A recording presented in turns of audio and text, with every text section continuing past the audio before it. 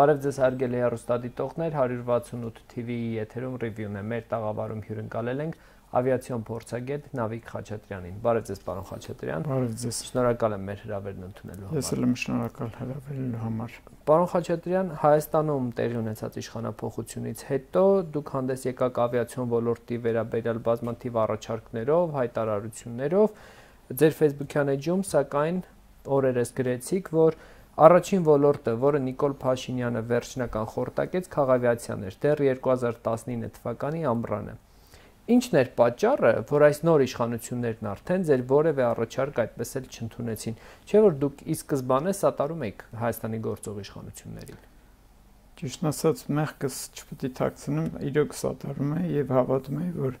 սա ոչ թե իշխանապողություն է, այլ հեղափոխություն եւ մտածում եմ, որ հեղափոխական գաղափարներով եկած կառավարությունը անպայման ուշադրություն կդարձնի ավիացիոն ոլորտին եւ ինչպես բոլորը բոլոր երկրները 21-րդ դարում կունենա պետական պետության աջակցությամբ ազգային կամ դրոշակակիր փոխադրող եւ դերևս այդպես ասած չստանալով իրենց ուշադրությունը կամ հրահանգը այդ թեմայով որ կարելի աշխատել Ես եւ իմ նախաձեռնող խմբի անդամները, որոնց ես հավաքեցի շատ արագ, դեռևս Տաթևիկ Ռևազյանի նշանակումից էլ արագ, շուտ։ Եվ սկսեցինք աշխատել ինչ որ տեսլականի վրա, որը Հայաստանին հնարավորություն կտար 1-2 տարի նախապատրաստվելուց հետո ունենալ ստեղծել ավիաընկերություն եւ հաջողությամբ շահագործել։ Սակայն դեպքերի զարգացումները ցույց տվեցին ամբողջովին հա-, հակառակը, որը մեզ համար նույնպես անընդունելի էր։ Առաջին բանը, որ տեղի ունեցավ, դա հիմիկվա քաղաքացիական ավիացիայի կոմիտեի նախագահի հետ հանդիպումներ դեռևս իր նշանակվելուց ընդամենը մի շաբաթ հետո ես եւ իմ գործընկերը գնացինք իր մոտ գրասենյակ այնտեղ մեծ բացատրվեց որ պետությունը նախ ավիացիան ամբողջությամբ 100% կոմերցիոն ոլորտ է այնտեղ ավանդակություն չկա եւ պետությունը պարտավոր չէ ձեզ աջակցել ոչ մի բան ու մեկ ժամանակ հանդիպումից հետո հասկացանք որ այլևս իմաստ չունի այդ թեմայով դիմել իրեն եւ պետությանը ամեն դեպքում մենք շարունակեցինք որտեվ փորձեցինք գտնել մասնավոր ներդրող այս ծրագրի համար որ մենք ամենօրյա ռեժիմով ծրագիրը ամբողջացնում ենք, նորացնում ենք, ապդեյթներ ենք անում։ Վերջի խոսքը իր հանդիպման վերջում, որ արդեն հաջողության հաջողություն ենք մաղթում իրար, ասում է գնացեք եւ մրցակցեք Aeroflot-ի հետ։ Ես էլ որպես պատասխան ասի, այդ նույնը ոնց որ ասեք Փյունիկը գնա Manchester United-ի հետ ֆուտբոլ խաղա, հարցունքը բաց չի ձեր համար։ Ասում եմ, չգիտեմ, ես նշանակված եմ այս պաշտոնին նրա համար, որպեսզի պետության շահերը պահպանեմ եւ այդ շահերը ասում են, որ ավիացիան կոմերցիոն ոլորտ է Շարունակեցինք այդ թեման արծարծել, հետո ստեղծվեց տրանսպորտի նախարարության էգիդայի տակ մի հատ խումբ, որը ավիացիայի զարգացման խումբ էր կոչվում։ Մշակվեց կարծեմ սեպտեմբեր, հոկտեմբեր, նոյեմբեր ամիսներին այդ 10 թվականին մշակվեց մի հատ զեկույց 33 էջի վրա, որի համագարկողը այդ խմբի եւ վերջնական տեքստը դնողը դա Հակոբ Ճաղարյանն էր նախքին վարչապետի նախքին խորհրդականը շատ լավ անիմաց համոտ օթաչու եւ մտածեցինք որ գոնե այս այս բարագայում կընթերցեն եւ կկարդան սակայն նորից մեզ հիաստապություն էր սպասում ոչ մեկ իշխանության կողմից կամ ղեկավարության կողմից ոչ մեկ անգամ ուշադրություն չդարձրեց այդ զեկույցին։ Պարոն Խաչատրյան, ասում եք, որ քաղաքացիական ավիացիան վերջնական խորտակվել է այս իշխանությունների կողմից։ Դա դիտավորության, ամփորձության, թե չիմացության հետևանք է։ Տաթևիկ Ռևազյանն ասում եք, որ ասել է ավիացիան կոմերցիոն ոլորտ է, այսինքն չգիտեն, որ ավիացիան ռազմավարական ոլորտ է։ Կարծում եմ, որ չգիտեին, եթե իր նշանակման պարագան ուսումնասիրենք կամ դիտենք, բարձ է դառնում, որ եթե մարդը լինելով ոչ հմուտ անգամ եթե ուներ ավիացիոն կրթություն, բայց Տաթևիկ Ռևազյանի պարագայում անգամ այդ ավիացիոն կրթություն չկար, բացակայում էր, բայց իրեն նշանակեցին մի ոլորտի ղեկավար, որը 70%-ը անվտանգություն է, թրեչկային անվտանգություն եւ ընդամենը 30%-ն է եւ դա աշխարհում հայտնի չափանիշներ են, ընդամենը 30%-ն է կոմերցիա։ Բայց գումարած այս ամենին, ամեն մի երկիր ունի իր այն ազգային կամ դրոշակակի փոխադրողը, որին պետությունը աջակցում եւ սատարում է։ Եվ օրինակները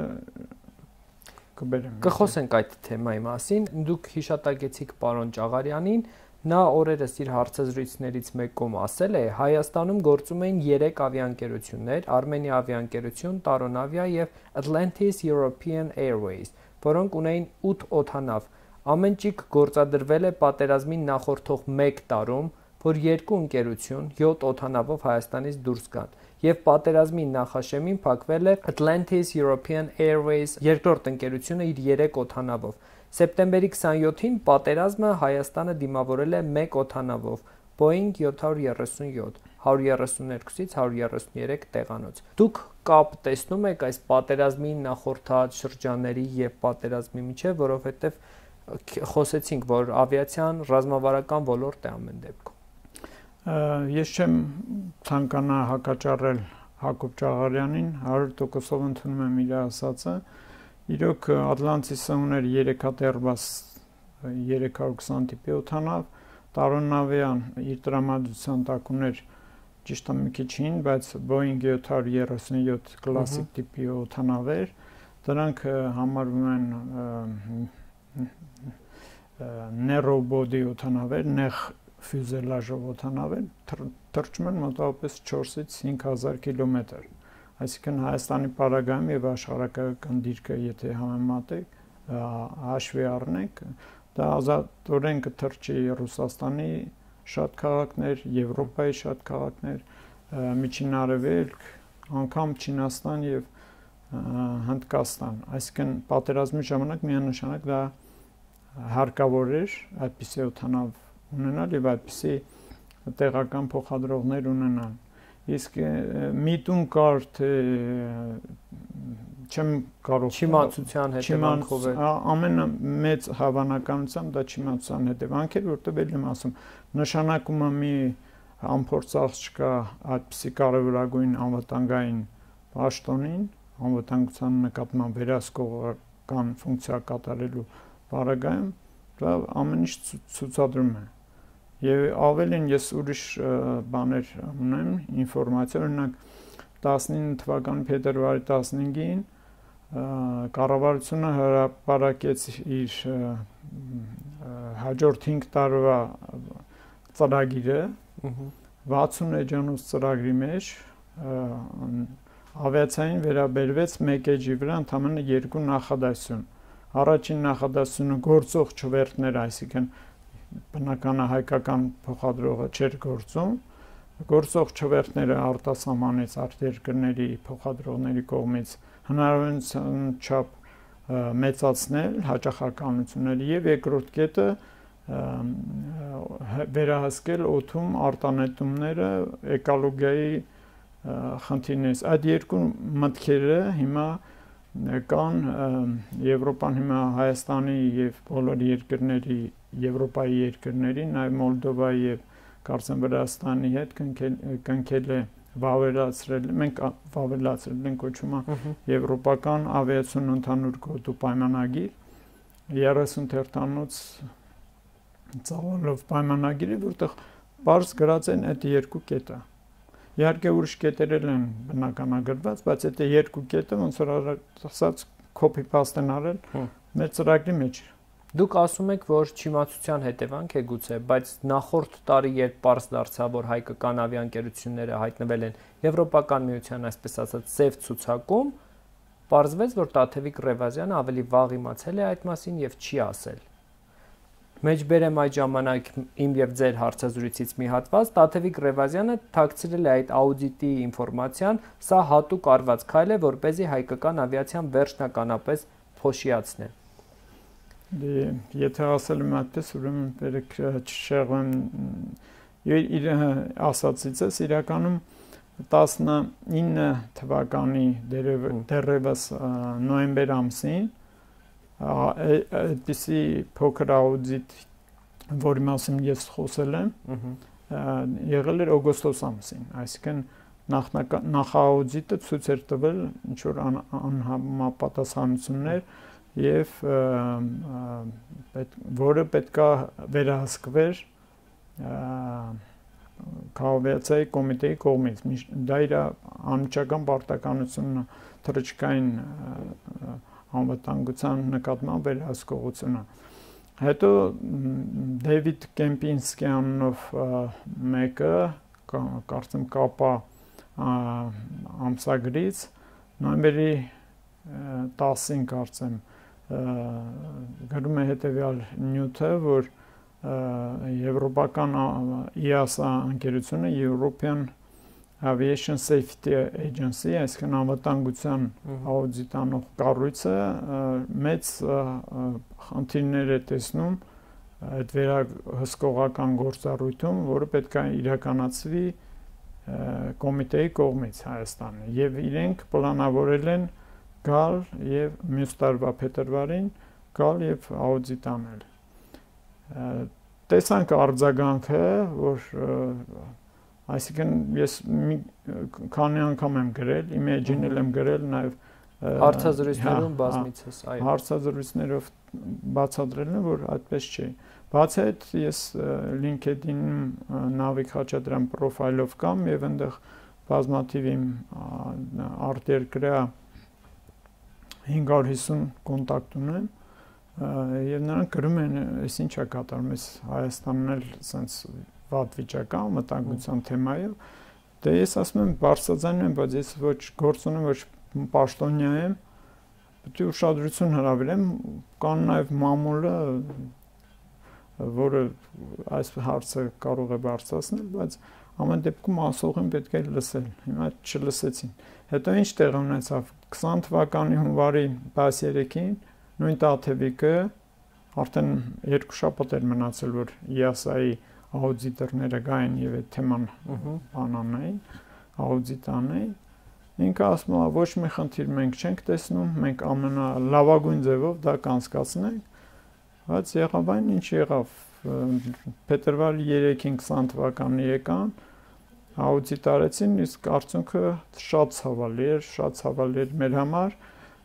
որովհետեւ մեզ գցեցին այսքան տարի երբեք դա չի եղել ես օրինակ 21 տարվա փորձ ունեմ ստաժ ունեմ ես չեմ նկատել բարձր պատվով կատարում են այն տղաները որոնք մինչև Տաթևի Գրավազյանը կային վարչությունում անունները չտամ մեկին չնեղացնելու համար մյուսի բայց շատ հետաքրքիր ձևով մենք ընկանք այդ սև ցուցակի մեջ, որի հաջորդ անգամ թեման իասան կարող է բարձրաձայնել եւ հանդիպել մեր պետության կառույցի հետ միայն 2022 թվականի նոյեմբերից, այսինքն եւս 1 տարի ու 6 ամիս մոտավորապես պետք է սպասենք նոր այդ հարցին անդրադառնանք եւ դա դեռ 100%-անոց վստահություն չի տալիս մեզ որ այսպիսի շարունակություն ունեցող քակի կադրերով, կոմիտեի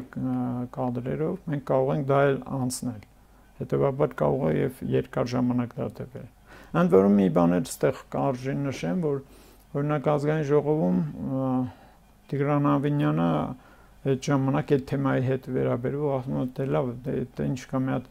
Լեոն էինք թռնում Արմենիայով, դա ոչինչ չենք թռնել։ Դա տենց բան չկա, դա ավիացիոն գրագիտության մասն է խոսում, խոսքը, որովհետև օթանավ տվողները հիմնականում լիզինգադատելները, վարչատուները բոլորը գտնվում են Իռլանդիայում, առաջ աշխարհի տարբեր երկրներ մենք գտնում, բայց հետո հարկերի պահով հավաքվեցին բոլորը արդեն 10 տարի է Իռլանդիայում եւ այն ընկերությունը, որ օրինակ նույն Air Armenia-ին ժամանակին արմավից հետո մյուս հայկական փոխադրողին օթանավեր տվեց, այդ նույն տղան, որ կոմերցիոն տնօրենը մեծ ծանոթ էր, վերջում էլ հրավիրեցինք նաև Հայաստան, ծանոթացեցինք Տաթևիկ Ռևազյանի հետ, ինքը զանգեց ինձ անմիջապես աուդիտը չանցնելու անմիջապես զանգեց, ասում Նավիկ ջան, ես ի՞նչ է կատարում ձեր մոտ, ասում են, դե ոչինչ, հիմա սենց ա եղել, կանցնենք այդ թեմայով, ասում են մեր մեզ մոտ հրահանգ է իջեցվել բոլոր լիզինգադատելներին, բոլոր լեսորներին այն մասին, որ Հայաստանին պետք է հրաժարվել օթանավ տալուց, որովհետև ինքը ընկել է սև ցուցակ եւ ռիսկային երկիր է համարվում ինվեստիցիայի համար այնպես որ ասում է պետքա լուծումներ մանգանք, եթե դու ուզելու ես օթանավեր, Airbus-ներ, ապա ձեր երկրում դա չպետք է գրանցի։ Հետո դրանց որ ժամանակ անց ասաց նաև որ լավագույն տարբերակը ոնց որ հիմա Aeroflot-ն իր օթանավերը գրանցում Բերմուդա կղզում, Ֆրիզոնում, ասում եմ միգուցե այդ թեման կարող ենք անել, որ մերոնք, այսինքն RKP-ը իրենց ղեկավարությունը համաձայնվի Հայաստանին օթանավեր տալ վարձակալությամբ լիզինգով։ Այսինքն մենակ մի ուղությունը չէր, որ անում ենք, այլ շատ մեծ բան։ Ավիացիոն խաղացողները շատ լավ իրար գիտեն, անգամ անուններով, պաշտոններով, բոլորը բոլորին գիտեն։ Այդ մեզ է թվում, թե մեր խնդիրները մյուսների հետ ինչ կապ ունեն։ Այդտենց ման չկա, հատուկ կոչվում է risk department, ուժեղ լիզինգադատելները հատուկ խումբ են պահում risk department-ը։ Ցանկացած երկիր, եթե իրենց գույքը տալիս է շահագործման, իրանք այդ երկրի ուղնուցուցը վերում դնում են ղեկավարության դիմաց, ասում են, «Էս այս երկիրը էս վիճակում է»։ Ուզում եք տվեք։ Ու այդ դրանից կախված օրինակ լիզինգի գները կարող է երկու անգամ ավելի թանկ լինեն։ Իսկ երկու անգամ ավելի թանկ ինչի մասին է խոսում, որ եթե դու այդ գնով բերես վարձակալման օթանավը, դու չես կարող մրցակցես նորմալ ավիաընկերությունների հետ, որոնք այդ ձևի գներ չունեն, որտեղ իրենց երկրի կոմիտեն կամ վարչությունը այդպիսի խնդիրների առաջ չի կանգնացրել իրենց երկրին։ Պարոն Խաչատրյան, դուք ասացիք, որ Տաթևիկ Ռևազյանին երբ որ հանդիպել եք, խոսել եք դրոշակակիր ավիաընկերություն ունենալու անհրաժեշտության մասին, ծրագիր եք ներկայացրել, Ինչով է կարևոր դրոշակակիր ավիաընկերություն ունենալ։ Ուրեմն աշխարհի գրեթե բոլոր երկրները ունենալով բազմաթիվ ավիաընկերություններ ունեն մեկ ազգային կամ դրոշակակիր փոխադրող ավիաընկերություն, որը աջակցվում է պետության կողմից Եթե թույլ տաք ես ասեմ այն ինչ որ հիշում եմ, օրինակ Air France-ը, Ֆրանսիայի փոխադրողը 54% էսպահին Ֆրանսիայի կառավարությանն են պատկանում։ Aeroflot-ի 51%-ը պատկանում է Ռուսաստանի Դաշնության կառավարությանը։ Սինգապուրի 56%-ը հիմա պատկանում է Սինգապուրի կառավարությանը բոլոր նավթային գերտերությունների 100% ավիաընկերություններ նման ավիաընկերություններ որպես բարձ լինի ասեմ օրինակ Ռուսաստանում հիմա շահագործում է 200 ընկերություն բայց դրանցից մեկն է Aeroflot-ը որին կառավարությունը աջակցում է դալով Հայաստանին ինչով է կարևոր ինչով է կարևոր դե առաջին բանը, որը միջազգային ավիացիոն հանրությունը հատկապես հետևում է Հայաստանի պահով, դա սուվերենությունն է, որովհետև ներդրումները գալիս են մեն սուվերեն երկիր, եթե դու որևէ երկրի գուբերնիա ես, այդտեղ փող չեն դնում։ Մանավանդ հասկանալի երկրի պարագայում։ Իսկ Հայաստանում արդեն 14 թվականից եթե հաշվենք 8 տարի է չկա որևէ փոխադրող ռեալ պետական աջակցություն ընդհանրապես չկա ասացի ձեզ որ մոտեցումը Տաթևի Գրավազյանը այդ պետությունը գործ ունի սա կոմերցիոն կոմերցիոն պրոյեկտ Ինչ տենդենսներ կան առհասարակ ավիացիայի ոլորտում մեր տարածաշրջանում եւ հարևան երկրներում Մեր տարածաշրջանում շատ առաջ է անցել ընդհանրապես աշխարհում ավիացիան երևի մեր ներկա վիճակից կարելի է գնահատել մի 10 տարի առաջ են իրենք։ Այնպիսի բաներ են քննարկվում եւ տեղ ունենում, որ հետևում է զարմանում ես, որ մենք հələ որտեղ ենք, իրանք ինչեր են քննարկում։ Օրինակ, սկսենք ամենախոշորից Turkish Airways-ը, Թուրքիայի ազգային փոխադրողը ունի 350 օթանավ այստեղ ասեմ որ պարտադիր չէ որ ամբողջ 350-ը իրենցն է կարող են որոշ մաս ուղիղ կես ընդհանրապես տենց են անում մեծ ավիաընկերություն լիզինգով է վերցված, որ հետագայում հնարավորություն կլինի հետ վերադարձնել լիզինգ վարչակալ վարչատուին եւ ասենք դրա մի մասը սեփական է ուրեմն ունենալով այդ 350 օթանավերը իրանք Իստանբուլից կատարում են շաբաթական 250 ուղությամբ չվերթներ 250 օրինակ ամերիկա տարբեր 19 քաղաքներ ունեն ուղություններ ինչը վերջերս ուներ 16 ընկերություն իհարկե պետք է հաշվի առնենք ամերիկյան սակցիաները որ մինչև այժմ գործում են բայց ամեն դեպքում Իրանները կատարում է իրականացնում է չվերթներ եւ այդ 16 եւ կան նաեւ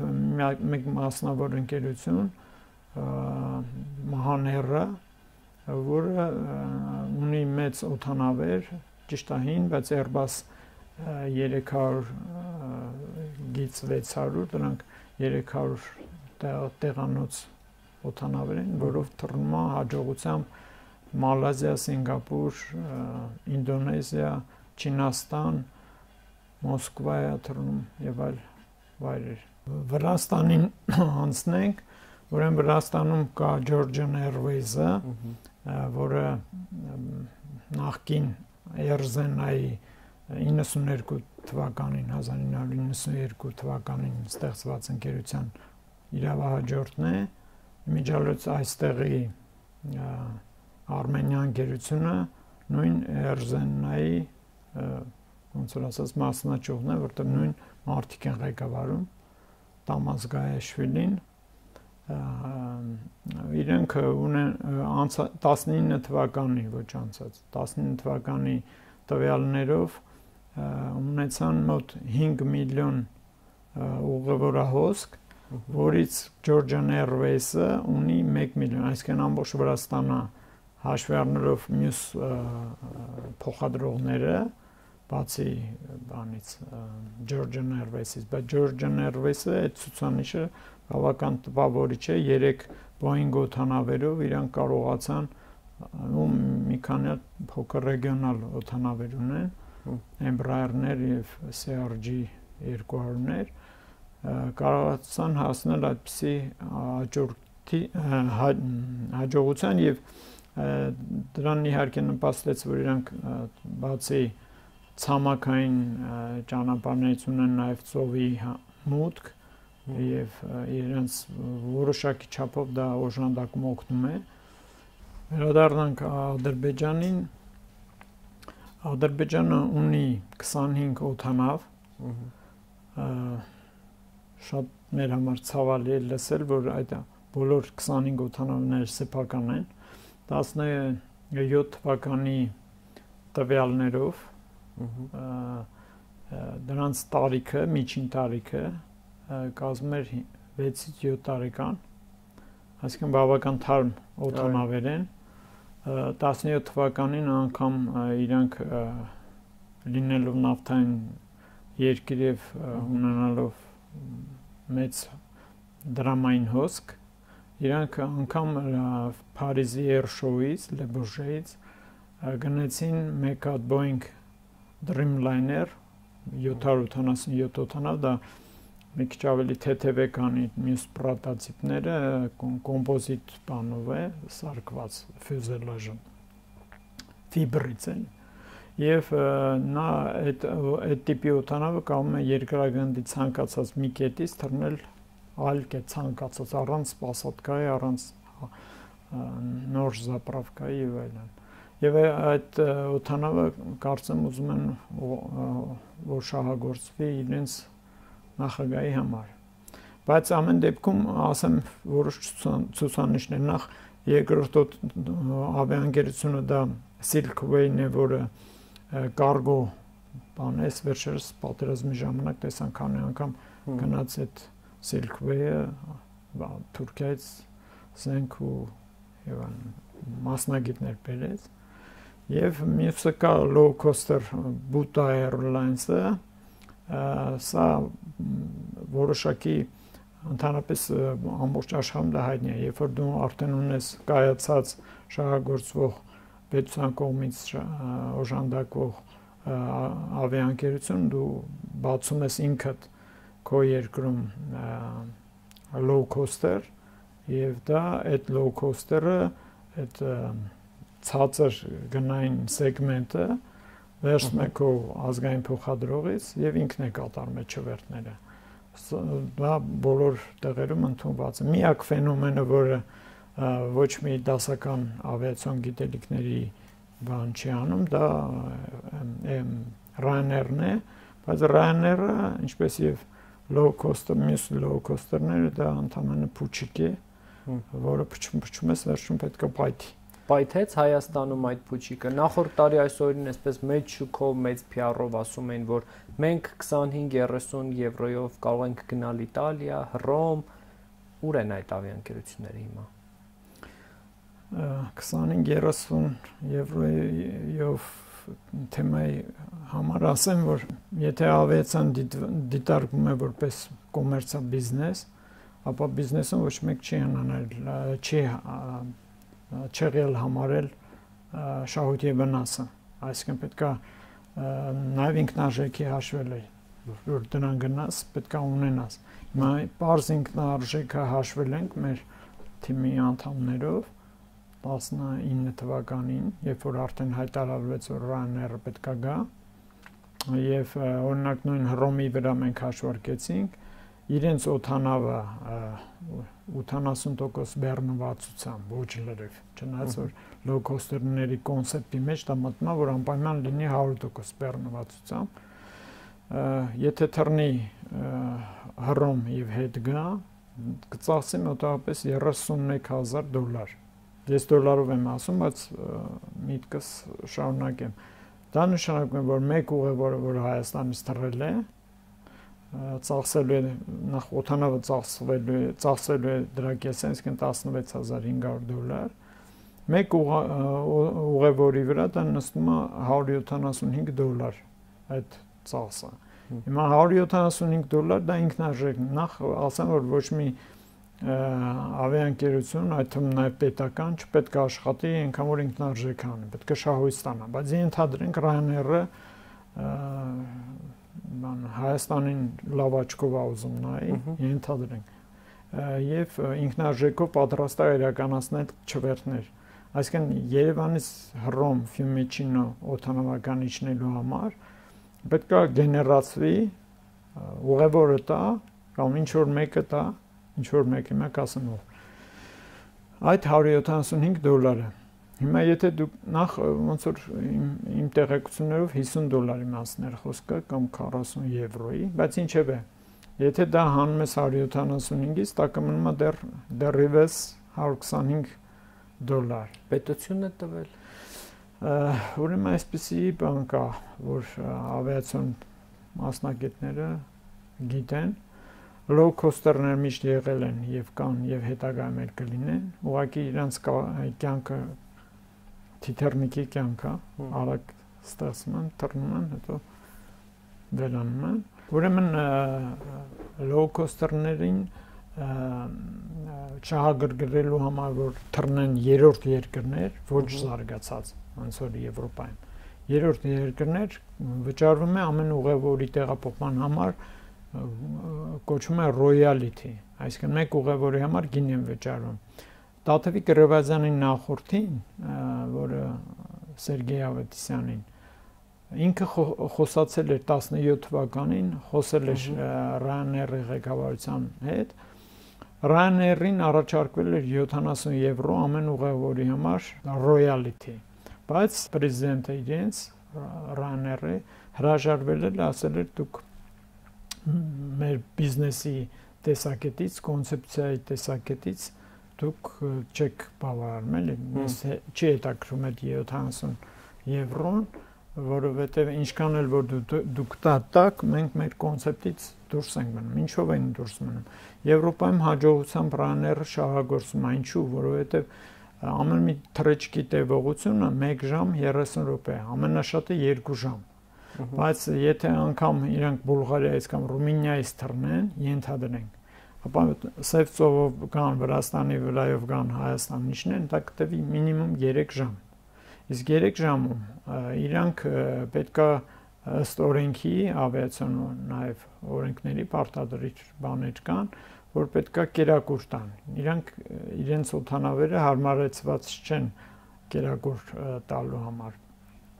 Բացի այդ, իրենց կոնցեպտով low cost-երների կամ հենց նույն Ryanair-ի պետքա 25 րոպեվան ընթացքում օթանավի դռները փակեն եւ Եվրոկոնտրոլի վերցրած թույլտվությունը սլոտի պետքա իրականացնեն։ Իսկ 25 րոպեում արդյոք հայերը կարող են նստել օթանավ։ Ես այդպիսի բան չեմ հիշում իմ պատմության մեջ։ Ամենակիչը, որ մեզ պետք է դա 40 րոպեն է։ Այնպես որ էլի բաներ կան, շատ բաներ կան։ Այսինքն Սերգեյ Ավետիսյանի այդ առաջարկած 70 եվրո ուղևորի համար, եթե համաձայն չեն եղել, կարող են ենթադրել, որ այս իշխանությունները ավելի շատ են վճարել Վերեք ես այդպես չանվանեմ, բայց ես ունեմ հստակ ինֆորմացիա 19 թվին եմ ստացել դրսից, որ Հայաստանին Եվրամիությունը պատրաստ էր գրանտ տալ туриզմի զարգացման համար հա։ 3 միլիոն դոլարի չափով։ Իմ իմացած տեղեկություններով այդ գումարը չի մտել Հայաստան, որպեսզի վարչապետը չասի, որ բյուջեից մենք փող ենք տվել, որպեսզի 50 դոլարով գնանք Հռոմում կոֆե խմենք։ Եվ իրոք դա չի մտել, բայց այն ուղակի գալու փոխարեն գնացել եմ անգամից Ryanair-ին։ Ա Իստե դե ամբողջությամբ է գնացել, թե մասամբ է գնացել, որովհետև ռանները COVID-ի պատճառով շահագործեց ընդամենը ամիս ու կես կարծեմ անցած տարի։ Ավելի կարճ ոնց։ Հա։ Եվ հիմա այդ մնացած ինֆորմացիային չեմ տիրապետում, համար բան չասեմ, բայց վստահ եմ, որ 3 միլիոն դոլար туриզմի զարգացման համար պետք է հատկացվեր Հայաստանին։ Այն չհատկացվեց ուվեց ռաների Հայաստան բերելուն, որը չիրականացավ։ Զուտ PR-ի համար։ Կարելի է այդպես ասել։ Պարոն Խաչատրյան, փետրվարի 1-ից Ռուսաստանը բացեց թռիչքները եւ մենք ուղիղ եթերով Զվարթնոց օթանավականից տեսնում ենք թե ինչ է կատարվում, բայց այդ օրերին հետաքրքիր էր այն, որ տոմսերը սարսափելի թանկ էին։ Ինչով էր դա պայմանավորված։ Դա պայմանավորված է նրանով, որ ալտերնատիվ չկա։ Եթե որևէ միտեղ մոնոպոլիա կա, այս իշխանությունների գլխավոր մեծ խոստումը նա էր, որ կվերացնեն այդ այսպես կոչված մոնոպոլիան։ Հիմա եթե մոնոպոլիա է եւ առաջարկ չկա, բնականաբար գները ինչ ուզեն կդնեն։ Նույն թեման ընդհանրապես ավիատոմսերի վաճառքի մեխանիզմը չի փոխվել արդեն տասնյակ տարիներ։ Եթե մտավոր մտովի պատկերացնենք գինու բաժակը վեաձև։ Ահա որ ընդհանրենք այդ ամբողջ տարողությունը, եթե ջուր լցնենք մեջը, մինչև վերջ մակերեսը։ Դա ասենք 150 տեղն է, որը պետքա վաճառվի։ Հորիզոնական մի քանի շերտով հավասար բաժանվում է ամենատակ այն փոքր վեի հիմքն է այդտեղ դրում են էժան տոմսերը որ օրինակ Գևորգ Խաչատրյանը կարծեմ 3 թե 3 առաջ օրը Արմենիայի փոխտնօրենը ասում էր 50000 դրամ է այդ 50000 դրամանոց 100 դոլարանոց տոմսերը ներքևում է եւ ծավալով եթե դուք պատկերացնեք 4-5 հատ են Այդպես եղել է 60-ական թվականներին, 70 թվականներին միշտ եղել է։ Արմավիայի ժամանակ էլ ես ինքս կոմերցիոն տնօրեն եմ եղել 7-8 թվերին 2007-8 նույն կոնցեպտով է վաճառվել ու հետո ոնց է ջուրը եթե լցնում ես սկզբից 50000 դրամով տոմսերն են ծախում, հետո 100000 դրամով, հետո 150000, հետո 200000 Իսկ ինչու 200.000-ը օրենքով իմ հասկանալով ճիշտ մոտեցման դեպքում պետքա բաժակը լցվեր։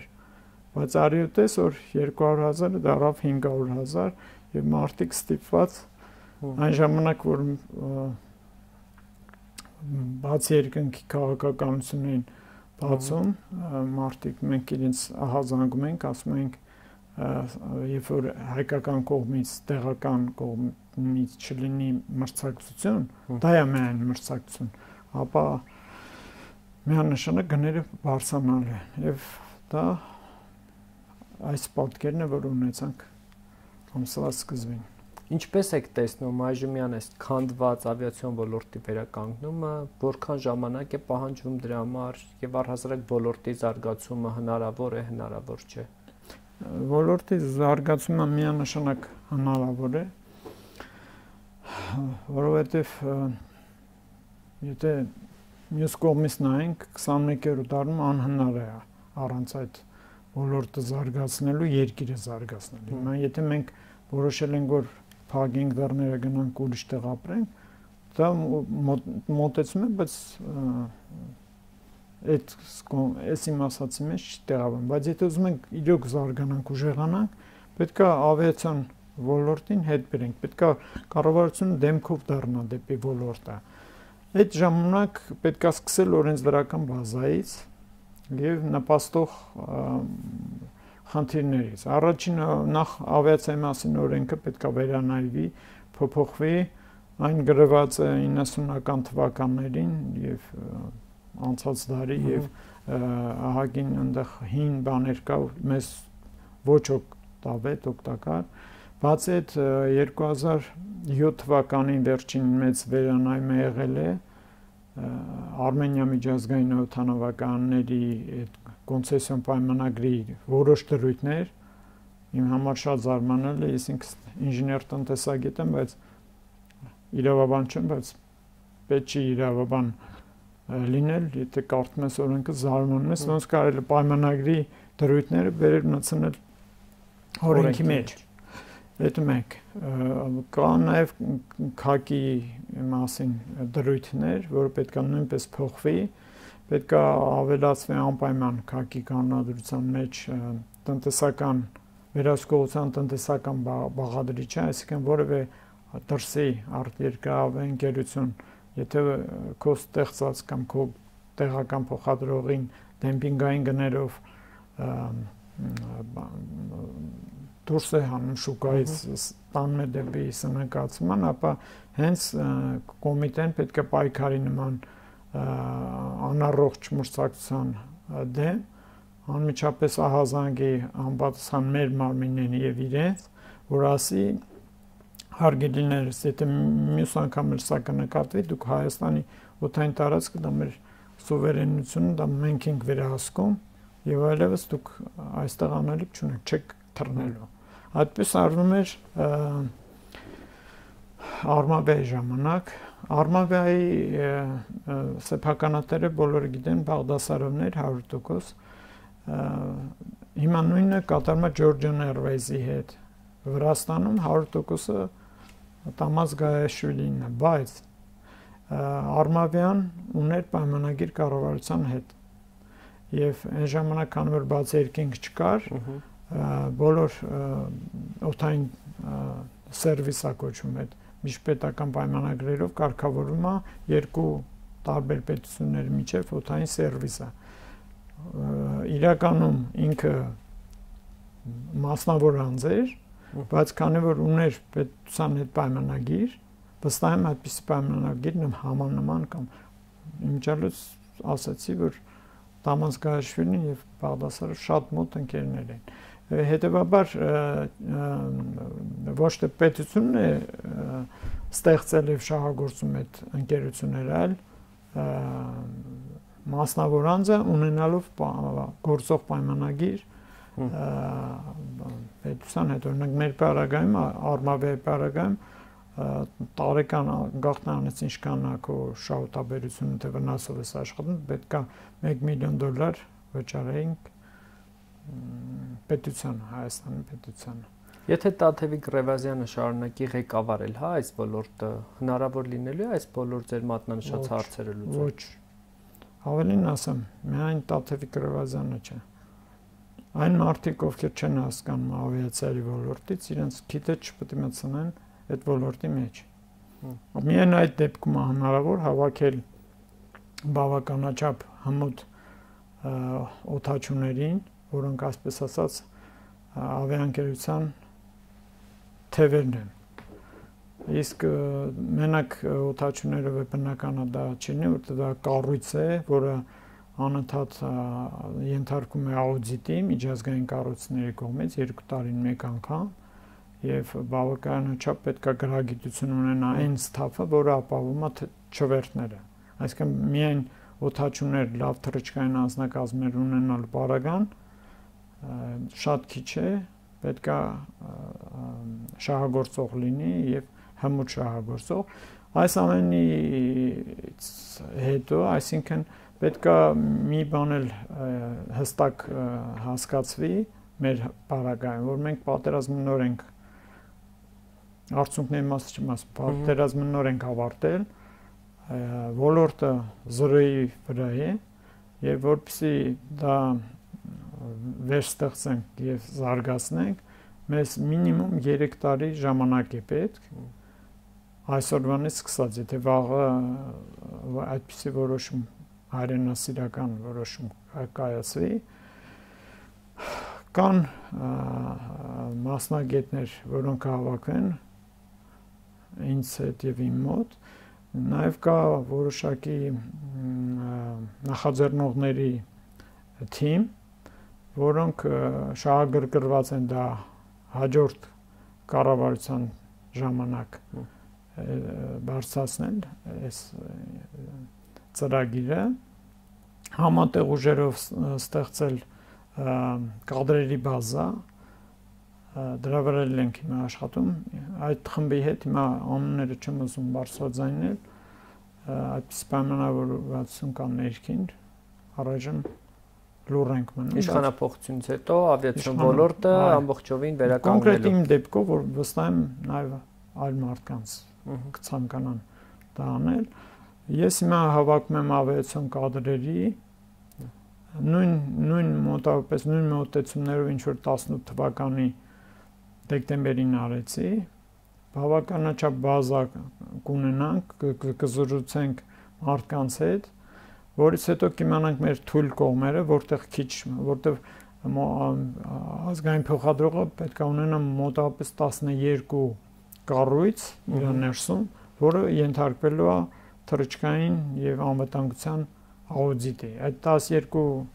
կառույցի մեջ մենք պետք է իմանանք ինչ ունենք, իսկ ինչը որ չունենք, այդ նախապատրաստական առաջի տարվա մեջ մենք պետք է լրացնենք, այսինքն ուսուցումներ կատարենք եւ թռիչքային անձնակազմերի եւ ինժեներների եւ ավիացիոն այլ կարևորագույն ոլորտների համար լինելու է անգլերեն բավականին մեծ ուսուցում ավիացիոն անգլերենը միջարը շատ տարբերվում է սովորական անգլերենից դա լրիվ տարբեր բաներ են խոսքը գնում է ավիացիոն ավիացիոն անգլերենով ուսուցանելու մասին Եվ կան նաև արդեն որոշակ ճշտումներ արվել են, որ կան ընկերություններ, որոնք լիզինգով կտան օթանավեր այս ծրագրի տակ լիզինգն էլ պետք է ընդհանրելի լինի թեկուս ոլորտից հեռու մարդուն, որ եթե ներդրան գույքի արժեքը ասենք 30 միլիոն է, դու լիզինգով կարաս բերես Հայաստան ներկրես 1 միլիոնով, այնուհետև ամսական լիզինգի փողերը գումարները տալով եւ տեխնիկական ռեզերվների գումարները մոտավորապես ասենք եթե 5 տարով բերես մոտավորապես 30 միլիոնի 15 միլիոնը կծախսես հետո 5 տարի հետո դա կվերադարձնես այդ օթանավը ու այդ մինչև այդ արդեն դու ինքդ կողմնորոշվես քո հաջորդ քայլերը որոնք են բայց սկսելու համար մեր թիմը այս բանին ունի բյուջե դա կարող են բարձրաձայնել 3 միլիոն դոլարով կարելի է սկսել ինչպես եւ ոնց դա Գերեվա իշխանապողությունից հետո Շնորհակալ եմ զրույցի համար։ Շնորհակալ եմ։ 168 TV-ի եթերում ռիվյուներ, հետևեք մեր հետագա թողարկումներին։